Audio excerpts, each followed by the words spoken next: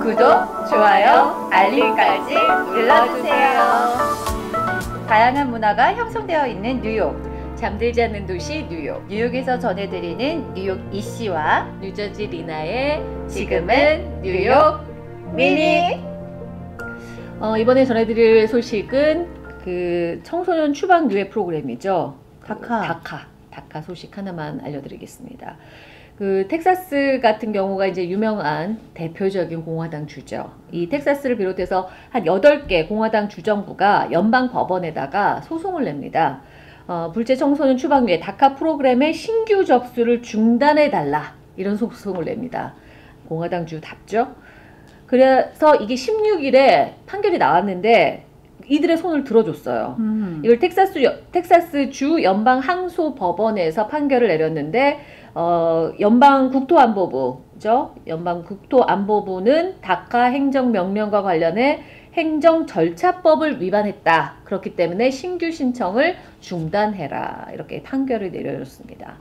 뭐 이게 근데 확정은 아니에요. 이제 이게 지금 뭐라 그러냐면 연방 법무부에서는 곧바로 2심 법원, 연방 제5 제5지구 순회 법원에 항소를 하겠다 이렇게 얘기를 했기 때문에 음. 이제 최종심 뭐 대법원까지 가겠죠. 연방 대법원까지 가게서 이렇게 판결이 될 텐데 문제는 뭐냐면 이게 그 항소하고 다음 재판에 가서 결론이 날 때까지는 중단이에요. 어쨌든. 음. 그러니까 지금은 당분간은 더 이상 다카 프로그램에 신청을 할 수가 없는 상황이 아. 벌어진 거예요.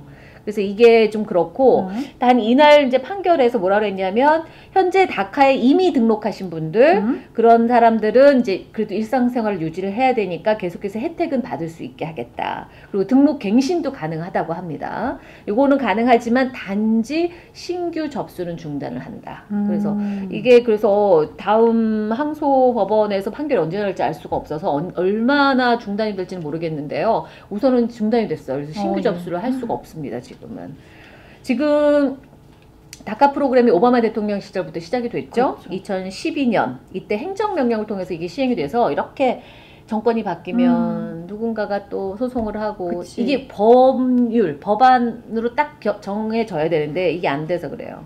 그래서 지금 미국 전체 이 다카 프로그램 혜택을 받는 사람들이 63만 6천 명 음. 굉장하죠.